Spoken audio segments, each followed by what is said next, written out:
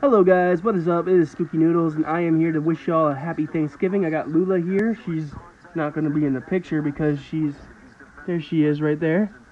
And uh, I just wanted to say happy Thanksgiving. I'm watching the football game. Uh, of course, my Lions hold uh, Thanksgiving football every year. So, uh, of course, they're losing, which is kind of a tradition. Um, if we're not losing, then what is it really a Thanksgiving game?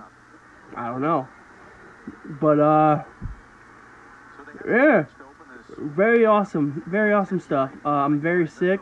Uh, the stove broke, so we had to uh, buy a new stove, and I um, I had to carry that thing in the house, which was pretty heavy. Um, and when you're sick, you're not the strongest, so you know, keep that in mind. But um, yeah, there should be a book review coming in the next few weeks. Um, I'm almost done with the Welcome to the Splatter Club.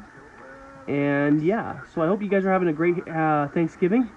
And yeah, there's not nothing else really to say other than peace out.